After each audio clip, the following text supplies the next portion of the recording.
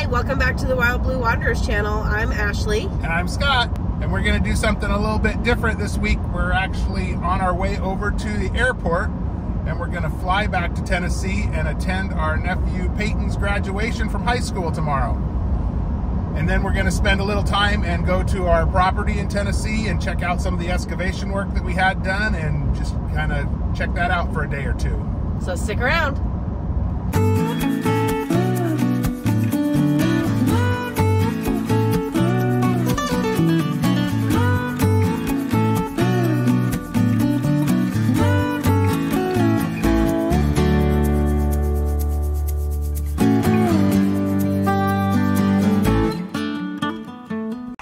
The gauntlet of trailer hitches. Airport.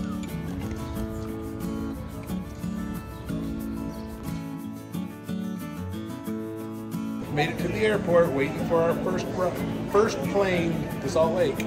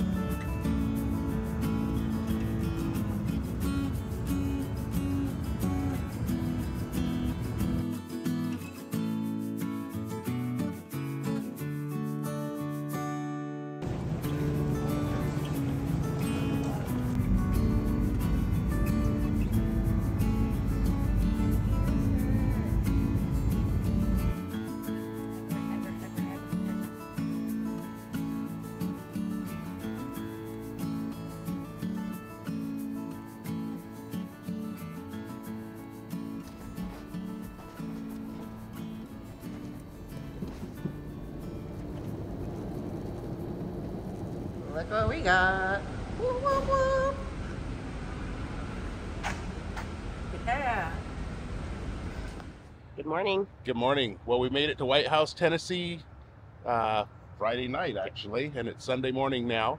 So yesterday we had the opportunity to go have brunch with our niece and nephew, Eva and PJ, and then we got to go to PJ's big event last night and watch him graduate from high school.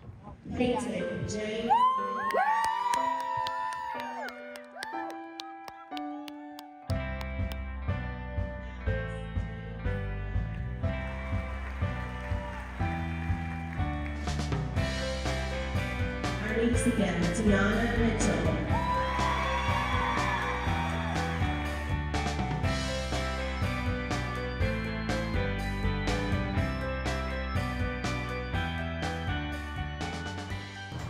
Good job, PJ. Good job, buddy. Peyton, sorry. Yeah. Well, we just went to the graduation and now we're celebrating, just us two, with some drinks and Mexican food in White House, Tennessee. And so far, so good. So Far so good. we got our food. Look at that. Looks good.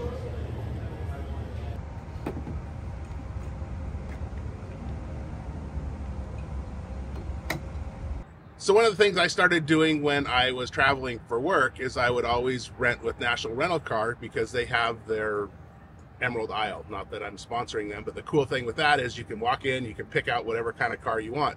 So I'd always try to get something different. Before we bought Ashley's F-150, I'd try F-150 pickups out. I tried Chevy pickups, all different things. So this time we decided to try something different, which is an e-Jeep or whatever they call it. So we decided we would plug it in charge it up and see what advantages the hybrid Jeep has. So it costs us about $6 to charge it up, and that's going to give us 21 miles of straight electric driving. So the fuel mileage maybe doesn't add up, but it's got a lot of pep, and we're going to give it a try. We're in the Portland city limits. We like this Portland a lot better. A lot nicer. Much nicer. A little prettier. A little quieter. Man, I always had stories about the city life and the crazy nights. Figure I should probably give it a try. Maybe check it out, see what it's all about. But the traffic was fast and the money was slow. We just stopped for a pretty good lunch. Um, it was a little diner. Nice little side of the road diner. Yeah. Uh, we like to travel back roads, and so uh, I looked to see what was coming up, and looked like this had some pretty good reviews. I didn't look too far into it. Uh, it didn't didn't look like it sucked, so we decided to give it a try. Had a little difficulty finding it just because there's no sign. Yep. So good thing we had we had Google Maps. Um, but yeah, little hole in the wall Nice place. little hole in the wall. Very good food. So Yeah. enjoyed it much. Yep. So that's what we do. Sky's pretty.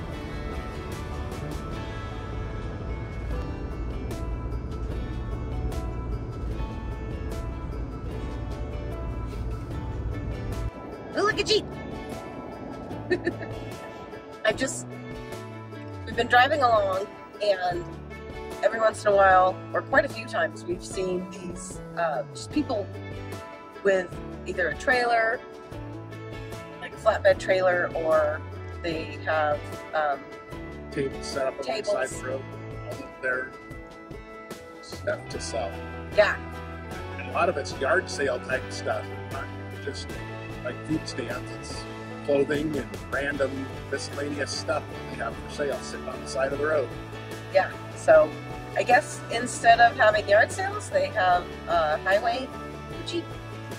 They have highway sales, so uh, it's just kind of interesting. The different things you see taking the back roads. This is why we like them instead of freeways. But oh, So- here's another one. So is that common in south or the east or just in Tennessee or just this area? You don't know. Leave a comment. Oh look, here's another one. I'm gonna turn you around.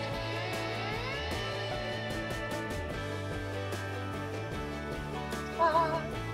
And motorcycle helmets and stuff that one. It is Sunday today, so I wonder if it's just is it just Sunday? Is it the weekend? Um, let us know. I, I this is not something that we normally see.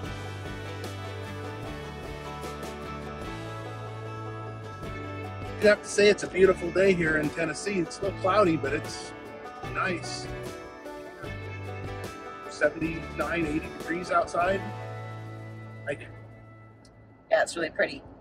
Trees all have their new leaves, and it's a pretty day. Another Jeep. Lots of Jeeps.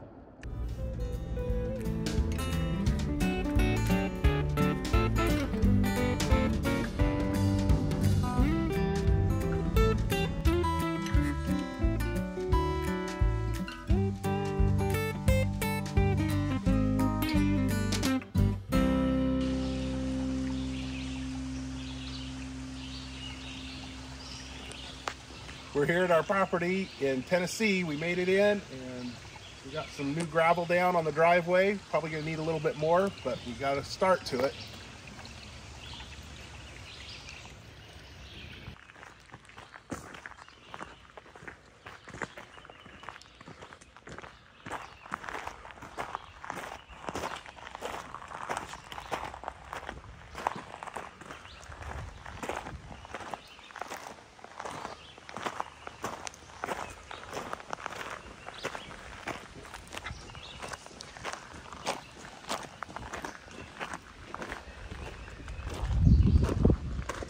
A little different with leaves on the trees.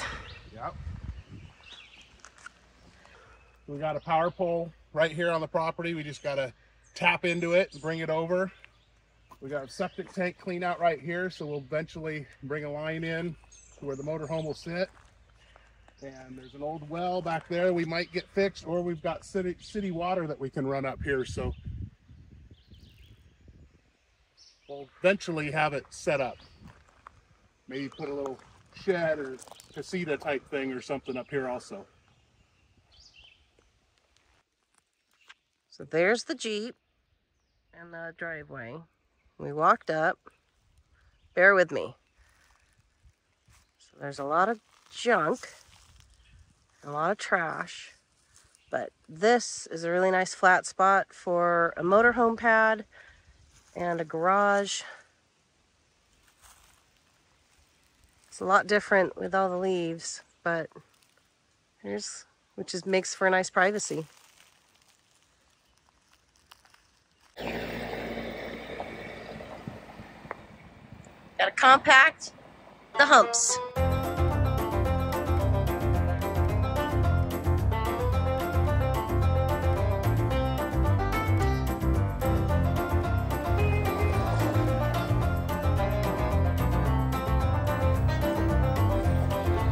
Thing we got our Jeep.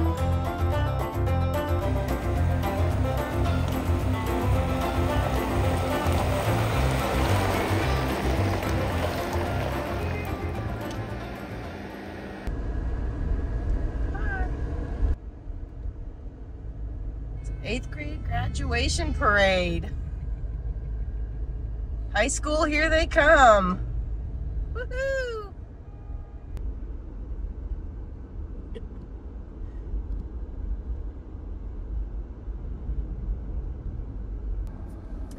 Well, we just had the privilege of watching the middle school in Rocky Top, Tennessee.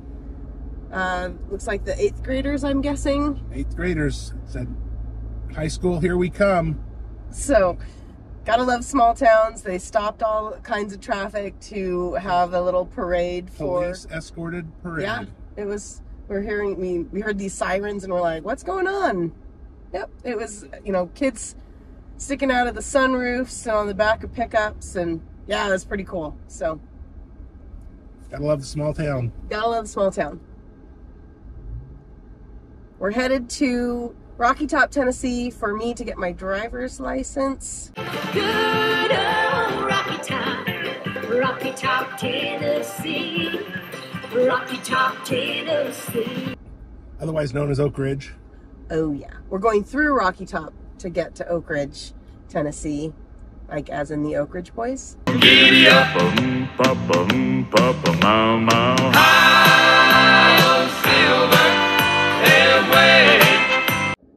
uh, so I can get my driver's license and officially become a Tennessee citizen or a Tennessean. Tennessean. Tennessean. Kennesaw. So that's where we're going. And then we fly back to Oregon tonight. So looking forward to a long day, but it'll be a good day. So I went onto the website called, uh, not website, I went onto my app called the uh, Atlas Obscura. And we were driving through Tennessee and there was a place called the Mount Gilead Cemetery.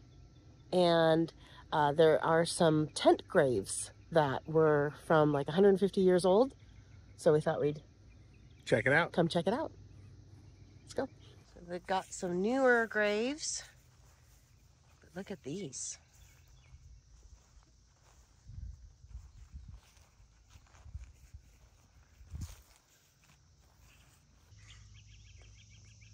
Pretty neat old gravestones.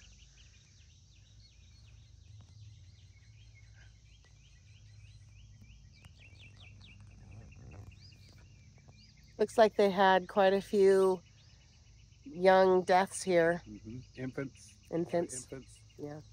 A lot of 20 somethings. So we read that the um, the graves were um, mostly because of the aesthetics. I guess is what they. It was just the thing to do at that time. I guess a lot of the dates we're seeing is around 1855, 1874, Somewhere. Yep. Mid to late 1800s. So, yeah, kind of neat stop. Thanks, Atlas Obscura.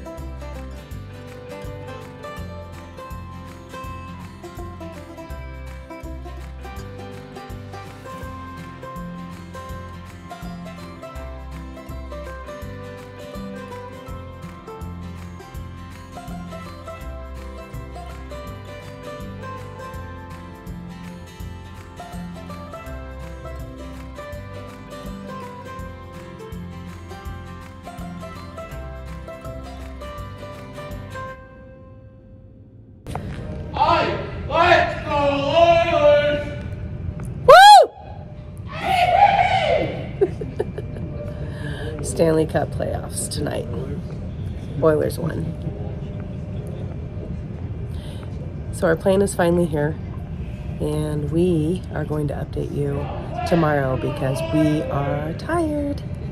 And there's a fan of the Stanley Cup playoffs. So Well, we made it home from our weekend trip to Tennessee. We got home last night or this morning at about 2:33 in the morning from our flights. We had a great time at the graduation and being able to visit with Eva and PJ and watch PJ's graduation. that was fun. Yep, Pretty proud moment for Yeah. us, you know, aunt and uncle. that was good. And then we, as you saw, we went over to our property and checked on the excavation work or the gravel and mm-hmm. driveway work that we had done. We've got a little bit more work still to do there, but I think we'll be able to get the motorhome up in there here in a few weeks when we go back there. It's better than it was, that's for sure. Yes, still got work to do, um, but that'll come. Yep. And as you saw, we rented a hybrid Jeep. And so Scott can talk a little bit about that. How what what did you think about that? Yeah, I liked it. It had a lot of power for what it was. Um, I don't know that the price point really makes Makes up for makes yeah makes up the for benefits? The, the benefits right. It did have a lot of power. It had more power than our v6 um, wrangler jk this is a jl um, i wasn't real happy with the interior as well. I think our jk actually had more space on the dashboard and more little pockets to like tuck our phones in and different things that one felt like it didn't have as much Yeah, I couldn't hardly find a place to put a rag to clean our glasses. Like it was like where do you put things? It was Right. terrible. Um, but as for, like I said, it got. I think we averaged about 22 miles to a gallon with it, and it's all. It was a stock Sahara, so we averaged about 22 miles a gallon with the hybrid mode, um, which we get about yeah 18 with our Rubicon now. So it did get better mileage. Again, whether it was worth the extra upcharge for a hybrid, not sure um, kind of neat that it will go in all electric mode if you wanted to be silent going through the woods or driving back roads or something, but it'll only do that for about 22 miles or 24 miles, give or take. And it cost us about $6 in electricity to be able to do 22 miles. So And like how many hours? Like three hours or four? Or was it? it took two and a half hours to fully charge. Um, and yeah, it took two and a half hours to fully charge. And that was cost like five ninety nine, so six dollars, and it was good for twenty one miles. So, um, I guess if you're in California where gas is six dollars a gallon, then it might be something feasible. But where we were, where gas is under three dollars a gallon, it doesn't really pencil out for us. But it did have a lot of power. It was kind of neat. Um, I could see it, its advantages. Um, you can park in the green e-parking spots if you want. So there's always that. it was fun to rent. But I yeah, mean, it was a fun, different rig to try out. So can't say anything really bad about it, but I can't say that that's going to be on our list for a next vehicle. Um, it is nice that it is flat towable still, um, but other than that, that's what we thought of it. Yeah. We made our way to the airport um, Monday evening, so our flight left at like 7:30 from Nashville. So we had plenty of time to do stuff during the day. Ashley joined me at being a official Tennessee resident. That's what we did on Monday morning. Yes, and we did uh, license the last one of our vehicles. My old, or my dad's old Plymouth Duster is now licensed with historical plates in Tennessee. Um, so we got that done on Monday morning before we did a little bit of sightseeing and headed to the airport. Yeah. So And we had pretty late night flights, and we had a little bit of a delay in Salt Lake City for our last flight back to Medford, which is Southern Oregon. And then um, right before we were getting on the plane, I was looking at the, the flight crew, and I was like, hey, I recognize somebody. And I went over, and sure enough, one of our really good friends was one of our pilots. So gave him a quick hug, and then of course he had to get on the plane and you know actually do his work. But that was nice when we got to Medford. We got I took a picture of him in the cockpit, and uh, it was good. It was good to see him and actually have him be our pilot for once. Yeah, I've known been- him for many years. I told Scott I've been waiting my whole time, my whole life, to have Donnie as my pilot. So thanks, Donnie, for getting us there safely and pretty smoothly. Yeah, we bounced in a little bit. Yeah, that's okay. So anyway, we are back in Oregon at Merrill, and we're gonna finish up a few of the small motorhome projects. Just about done with that. We've got a couple of other trips planned coming up soon, and then we're going to be getting everything buttoned up, moved out of here, and still plan to be fully on the road by September, Yeah. if not before. Yeah. So lots, lots going on, lots to do. We're gonna have some more uh, videos of some upgrades and some projects that Scott's been working on. I've been working on, um, and then and then we'll have some travel videos mixed in there too, so we won't bore you too much or teach you too much. So So if you enjoyed the video and our weekend, give us a thumbs up. Hope that you will uh, subscribe to our channel and leave us a comment. Let us know what you think, and we'll catch you on the next one. thank you.